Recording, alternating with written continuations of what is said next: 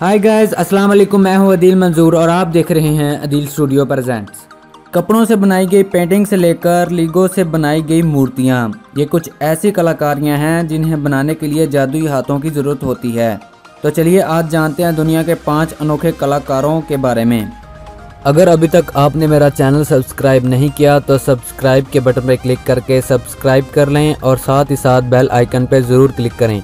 ताकि हमारी हर नई आने वाली वीडियो बर वक्त आप तक पहुँचती रहे। नंबर फाइव बेंजामिन शाइन अगर आप पेंटर हो तो आपको ये पता होगा कि पेंटिंग कोई आसान काम नहीं। इसके लिए आपकी सोच दूसरे लोगों से ज़्यादा होनी चाहिए। पर यह सोचना और भी मुश्किल हो जाता है जब पेंटिंग रंगों से नहीं, बल्कि कपड़ों से बनाई जाती हो। सुनने में काफ़ी अजीब लगे, पर यह पेंटिंग की किसी रंग या किसी फोटोशॉप का इस्तेमाल करके नहीं बनाई गई। ये पेंटिंग बनाई गई है। कपड़ों का इस्तेमाल करके हवा से बचाते हुए कपड़ों को एक जगह सेट करना इतना भी आसान नहीं होता। इस काम में कपड़े को जैसे चाहे सेट करने के लिए आयरन का इस्तेमाल करना पड़ता है। जब लोग इस थ्री कलाकारियों को देखते हैं तो यकीन करना मुश्किल हो जाता है कि इन्हें इंसानी हाथों से बनाया गया है। नंबर फोर फिलिक्स एम्पर हज़ारों कागज़ के पन्नों को जोड़कर पत्थर की तरह नज़र आने वाली मूर्ति बनाई जा सकती है। इसका सोचना भी हमारे लिए मुश्किल होगा। पर फिलिक्स एम्पर इस इंसान के लिए नहीं। कुछ अलग ही सोच का मालिक फिलिक्स एम्पर कुछ ऐसी चीज़ें बना देता है, दिखने में प्लास्टर पेरिस की लगती हो।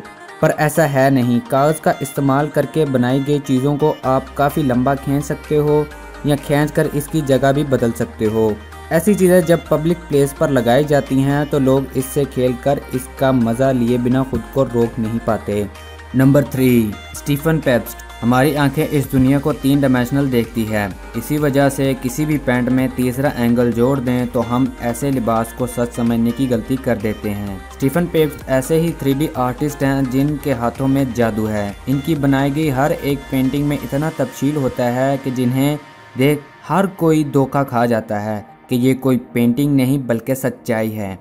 अगर स्टीफन किसी जानवर को अपनी पेंसिल से कैनवस पे उतार दिया तो ऐसा लगता है कि वो जानवर सच में ज़िंदा हो गया हो। कुत्ता, घोड़ा, मछली, ये कुछ ऐसे जानवर हैं जिन्हें आप ज़िंदा देखने से अच्छा स्टीफन के हाथों से कागज़ पे उतरी कलाकारी को देखना पसंद करोगे। नंबर टू, नेथन स्वाया। अगर रावण ये मूवी देखी होगी तो आपने छोटे छोटे क्यूब से बनते रावण का सीन देखा होगा। कुछ कुछ इस तरह से काम करता है लीगो। हम सबने कभी ना कभी लीगो का इस्तेमाल किया होगा।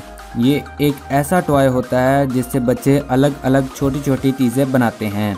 पर नेथन स्वाया, ये अमेरिकन कलाकार लेगो बेग्स का जिस खूबी से इस्तेमाल करता है, ऐसा इस्तेमाल शायद इस दुनिया में कोई नहीं करता होगा। इन्होंने लेगो बेग्स से इतनी अच्छी अच्छी कलाकारी दिखाई है जिन्हें लोग देखने के लिए दूर दूर से आते हैं।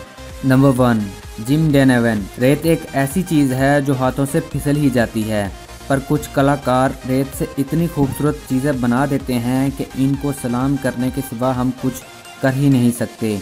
जिम डेनेवन एक ऐसे ही कलाकार हैं जिन्होंने इससे भी आगे जाकर रेत पर एक ऐसी ही कलाकारी करने का फैसला किया, जिसे बस आसमान से ही देखा जा सकता है। ज़मीन पर तैयार की गई इन कलाकारियों को देखने के लिए आपको अच्छी खासी ऊंचाई पर होना ज़रूरी हो जाता है। इस तरह की कलाकारी को आम इंसान नहीं बना सकता। इसके लिए चाहिए आपको बहुत सारी नॉलेज।